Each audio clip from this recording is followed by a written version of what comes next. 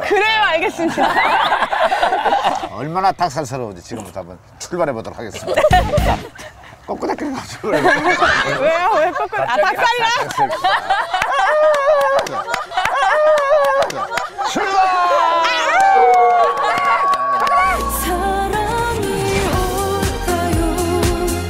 돈으로 꼬셨다니. 차를 사줬다. 짝다리 풀어. 이러고.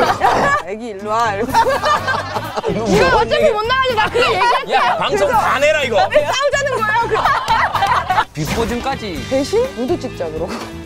엄청난 돈을 벌었다. 아, 방송 나가면 난리 날 것 같은데. 우리 속았어. 뭐 이건 편집하셔도 상관없지만 그 일을 겪지 않았으면 부디 나를 잊지 말아요 자, 올해 그 유독 아주 대단한 결혼식이 많았습니다.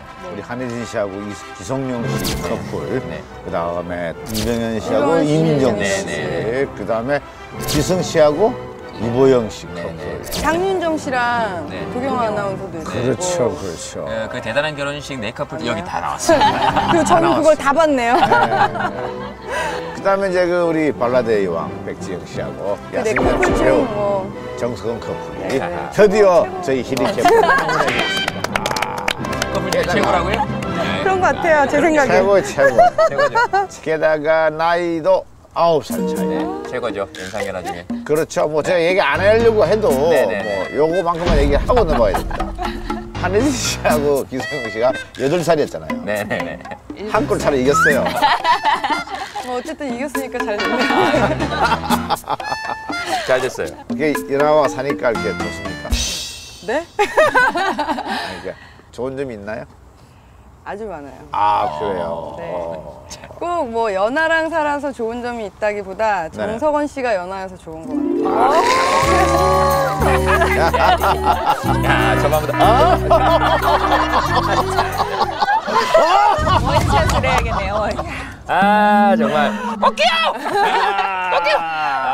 정석원 씨가 연하라서 좋대요. 나 어떡하지? 야 잠깐 나 지금. 미치겠다 지금 제가 모 영화제 때 정재현 씨를 뵀는데 네네네 정말 저 멀리 계셨는데도 네. 너무 잘생기신 거예요. 음. 그래서 저희 여자 스탭들이 딱 한마디 했어요. 네. 진짜 백지영 씨 너무 부럽다고. 네.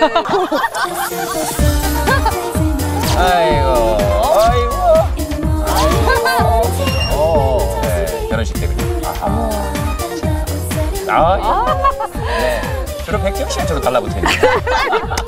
그런 말을 네. 네 어디- 어디- 결혼식 때고 이건 신혼여행 때 아. 신혼여행 때 사주신 어. 어디 갔습니까? 아 라스베가스 갔어요 어. 야, 닭살이네요. 아름다웠어요. 네. 아하. 훈남 소녀네요. 네. 근데 그 얘기를 듣자 하니 결혼식 날 네. 신랑 신부가 그렇게 펑펑 울었다면서요? 네 어. 엄청 울었어요 오호. 그게 이제 정말 어떤 표정으로 울었냐면 약간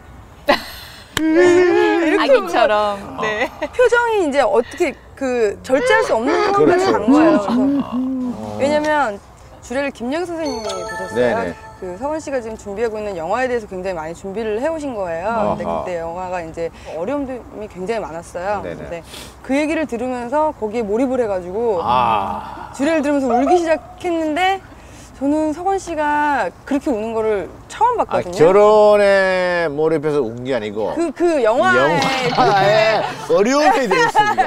그래서 막 그게 막 복받쳤나 봐. 눈물이 시작해.